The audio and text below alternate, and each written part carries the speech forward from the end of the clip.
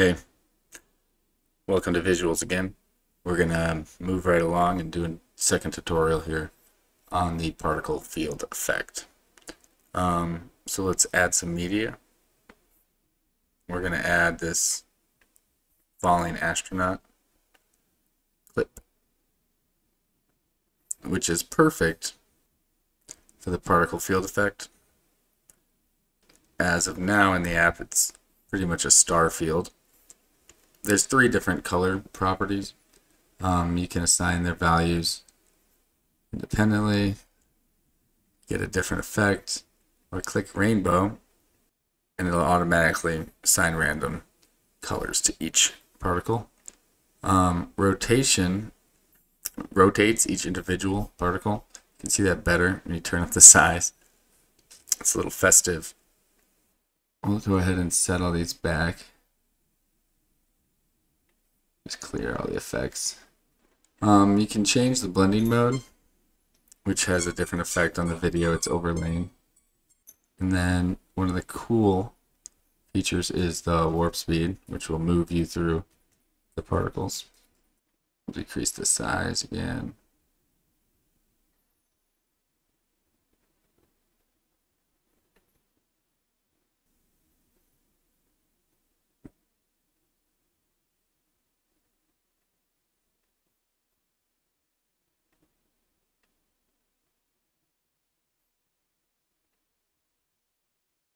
So there you go.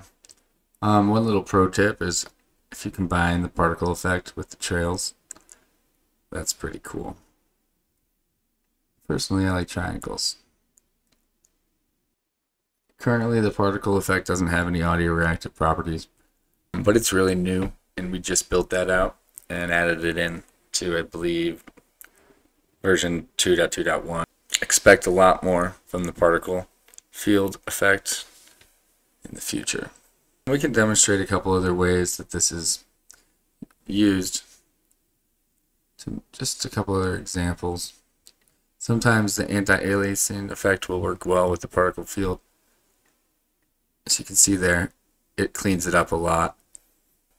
Also, the mirror effect works well with the particle effect. That just looks sweet.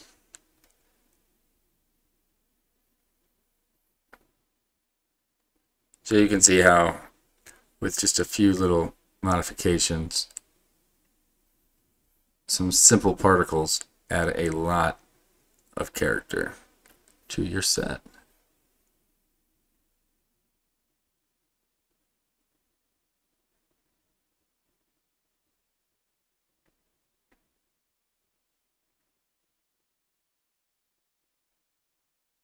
Would you look at that? Who would have thunk?